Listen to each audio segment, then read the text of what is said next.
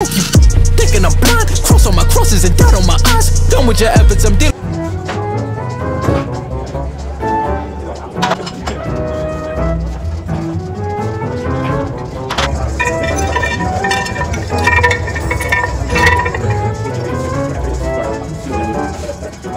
So for me, I really, really hate fashion. I don't know what it is. It's probably some weird rebellious nature, uh, but I don't like clothing and branding and in that sense of like Gucci or whatever.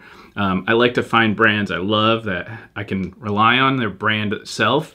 Um, but I hate fashion and walkways and buying a lot of clothes, but I love style. Style is super interesting to me. Uh, it's like design. Style can be in a commercial, it can be in a drawing, it can be art, it can be whatever. Uh, I look at style like as a personal style that has nothing to do with clothing. I look at style in my personal style as something that I can control and something that I can develop and kind of like think about beforehand. I don't just go out and just buy random clothing. I think about what I want and then I go find it. And sometimes it can take a year, sometimes it can take longer. And you know, sometimes I buy something and then I don't like it. It's just kind of how it goes. Uh, I forgot to put something in my hair. I just got recently got this stuff. Kevin Murphy. Uh, it's pretty sweet. It's actually kind of my new favorite thing. You only need a little bit, like teeny, teeny, tiny bit. And for me, it's cool because it's not shiny, because I've had this shiny stuff forever. And uh, I like kind of a more of a messy look lately. Um, it just works for this new cut I have where I just kind of put it in. That's it. It's really great. Uh, it's Nice. It's nice. It's I, I definitely recommend it. It's so good. I mean, my haircut, I'm really happy with it. Christian's always killed it, so. Um, so this is the outfit for the day. Uh, the shirt's pretty awesome because it's black, but not completely black. And that's kind of one of the things I'm doing with my style is I'm trying to get away from just completely black. Um, I like the idea of bringing in a lot more gray. And we're going to get into that in a second. Uh, but this, I love black jeans. I love black tops. I love actually I, i'm just trying to get more color uh, so this to me is like color um, and it's because it's a different tone it's different luminosity and uh, as far as shoes go i have my Fryes they're pretty beat but at this point they were a dress shoe and uh, now they're kind of they're more of a rugged shoe uh, they're pretty great. So I have this ongoing joke with myself because I don't talk to anybody else that there is always a jackhammer in New York. I don't understand. This place is kind of a hellhole, but this is right outside my window. Check this.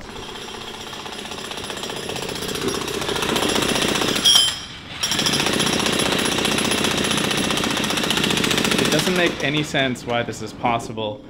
I don't understand how there can be this much work every single day of the year. Always a jackhammer. It's insane. I don't understand. So what I'm on about is that I want to change my style and upgrade it from basically all black. Like I'm sick of looking like a ninja. Um, I just don't think it's a good look anymore. Um, I like to have pops color lately. Um, I'm just getting some new boots from Red Wing, which is awesome. Uh, thank you, Red Wing.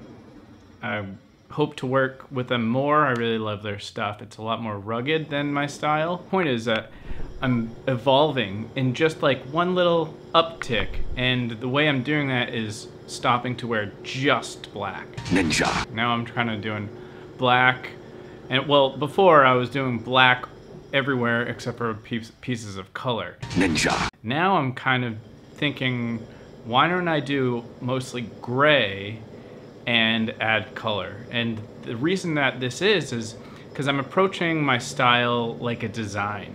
So I'm kind of imagining a web page. I don't want it to be so dense and heavy. I kind of want to have a little bit more life in it. And if it was gray, it would feel a lot lighter, but not super white. Like I don't like white in general. I'm thinking, why don't I get some gray jeans? I haven't had some in a really long time, at least none that I really loved. They were like Uniqlo or something that are like pretty fine. They're fine jeans, but I want to go to get nudies like the jeans I'm wearing. Um, the other brand I love of jeans are Peter Manning. All right, so at this point in the vlog, I think generally people do like coffee or something, so let's make some coffee.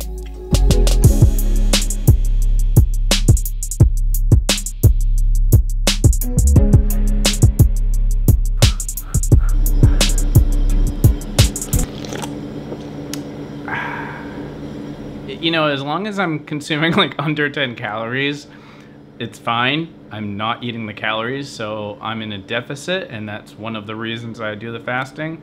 Uh, but, anyways, back to the topic at hand, which is that I realized that I hate blue. I realized this a couple years ago, uh, but I just have this whole bag of here clothes here that I just I'm getting rid of at later this week, and it's basically all blue clothing. Um, I don't like it. I don't understand why everybody wears it. I think it's a really gross color in general. I like browns, blacks, grays, burgundy, uh, greens, teals. Midnight teal is my favorite color. Skin tones, all of these tones, like just general earth tones. And blue just seems so weird. It's like purple too. Like I don't like purple that much. Magenta's fine, uh, but th- that those cold tones, I'm just not really into them. Not I like I like a cyan, um, but that's not blue. So I'm getting rid of all of my blue clothing and never buying them again. I don't even like them on other people. Like blue jeans, I think they look stupid to be honest. Like it's such a clashing tone, especially with most people don't understand that it doesn't work with their skin tones. Rambling a bit, but the whole thing is that I think that my style now will evolve to be much more colorful in a very analogous warm toning. Uh, so I wanted to pick up some gray jeans from Nudie today, or at least go try on because they've they change their cut all the time. They don't carry the cut that I'm wearing right now, which is fine because for me, I will allow the industry and the fashion world to kind of dictate things a little bit. Like, I don't care enough to pay attention. Oh, there's new cuts that are more stylish now. Sure, let me find what works. Uh, whatever fits. Uh, the cuts can be different. Uh, it's just as long as it fits and then falls in my taste, I'm cool with evolving that. So what you're seeing here is an example of pop of color. So I got my burgundy shirt, got the scarf, and generally everything else is gray or black. Uh, basically, anything dark is kind of what I'm gravitating towards. Um, and dark colors are okay now in my book, and that's kind of what I'm evolving. But to do this, I wanted to kind of get something else that was gray, which is what I'm looking for at Nudie. I'm gonna be looking for some gray jeans. And yeah, I just want to try on some and hopefully we can find some. But my body shape is so weird. My legs are shaped like uh, ice cream cones. Everything is really tough to find anything that fits. So that's the challenge. Sometimes nudie works, sometimes their pockets are too low, sometimes the waists are too long. So for somebody my height, I struggle a lot. So hopefully we'll get lucky.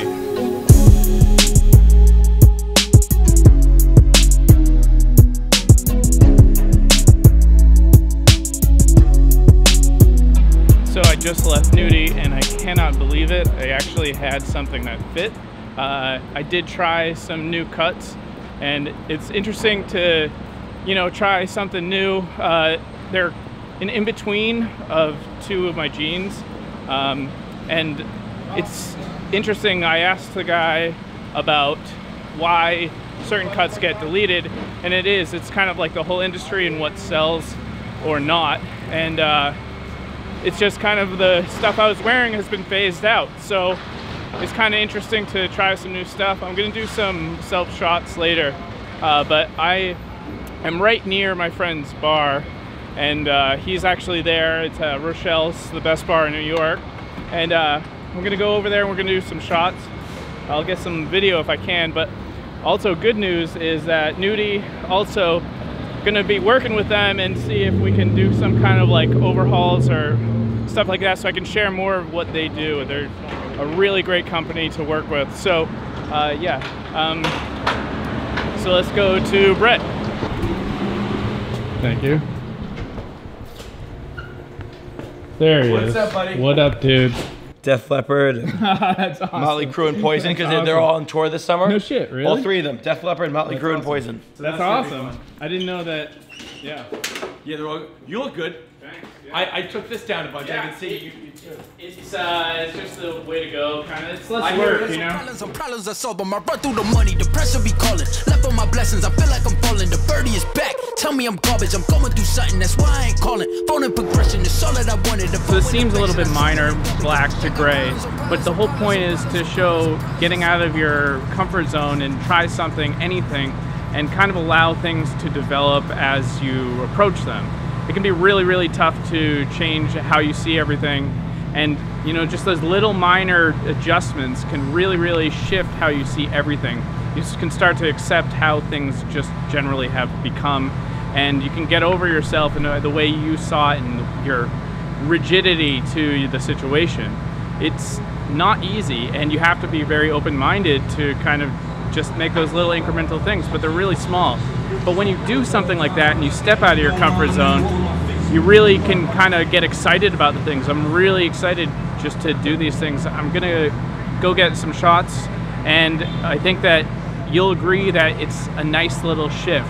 And for me, approaching and adding more browns and burgundies and tones into the whole design of how I see myself is really, really kind of, for me personally, deliberately profound. So for me, it's a big deal because I don't do that kind of thing.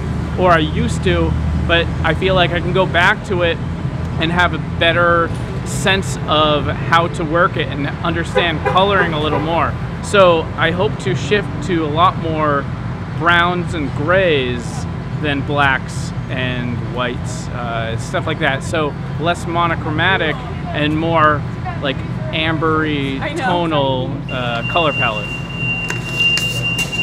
So I just got home and I got a package from my Amazon order, so let's check it out.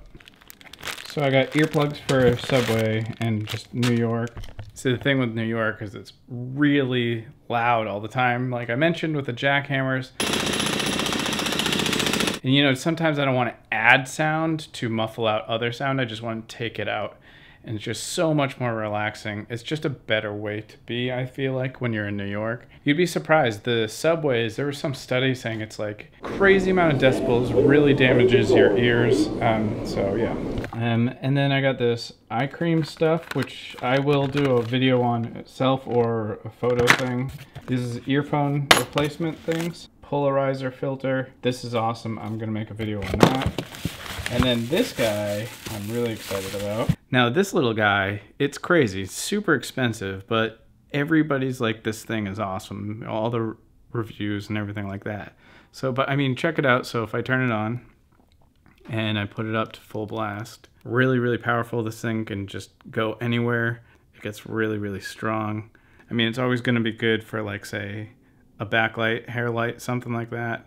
Yeah, I just don't really understand how people always do these unboxings. I, I see it all the time on Instagram. Like, how do you hold the camera and do an unboxing? And it, it- I don't understand. Money, the pressure be calling. Left on my blessings, I feel like I'm falling. The birdie is back. Tell me I'm garbage, I'm going through something. That's why I ain't calling. Phone and progression is all that I wanted. The phone and affection, I summon and dub it. Cause I got problems on problems on problems on problems on problems on problems. I solve them. I run through the money, the pressure be For me, I like to treat it like graphic design. So I put in the color palette of everything but blue, basically.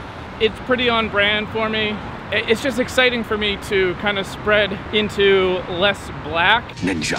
and less heaviness. I still like dark, but less heavy. I feel like it's more appropriate for where I am and my well-being at this point in my life. I'm a, I'm a little bit happier these days than, say, uh, about a, a year ago. Um, so I want to represent that, but I don't want to wear a bunch of pink, although that'd be cool. Magenta's pretty badass, but the whole point is I'm designing it, and that's kind of what I want to teach you guys and show you that you can design your style without it being fashion. Now with this channel, in this tweaking that I want to be doing with it, is I want to be sharing insight, not just education on how you can brand yourself by design. And that's kind of what I want to do. I want to coach people and I'm still feeling out how to do it in a personal way versus being commercial. Um, so the way I'm seeing this design, how you might be able to take something away and apply it, is for me, I really pull these colors from film, like the tones of film, the dark blues, shadows, which is like a midnight blue is just actually like a cyan, and uh, you know the warm skin tones and all that business. Uh, it's all pulled from film because I'm really here in New York, and everything I love has to do with movies. So my color palette comes from like a Kodachrome, Kodak type of business, and that's kind of my inspiration. And if you were to be actually watch that Justin Bieber design thing, which I will expire, I'll be removing that in the next month or so. I go insight into how the design came up with this look and how you can kind of get a similar thing. Now I just saw Casey Neistat wearing a pink hoodie, maybe influenced by it, maybe it's just clothing, all that business. But if you apply something that you really, really love, such as movies or say it's a car, whatever, and you take that color palette and you kind of apply it to your own business, that's a good start. And that's kind of what this one's all about is I'm shifting my color palette from something I used to love, which was, you know, really dark blacks and uh, really, really dark grays to lifted blacks, lifted grays, just a little more happier, but still in the broodiness. Wow, this. And I kind of wanted to do more of this rawness because it's another thing I'm interested in is sharing more of insight again, not just straight up education. I think that this is almost long form and I don't have to really script it out as much. Might be more enjoyable to you guys. Let me know if you like this format because it's a lot of work. So if you're not digging it, I'm happy to not do it. Uh, actually, I'll keep doing it anyways, but I want to get good at it, then I'll see if I want to keep doing it. All right, until next time, over.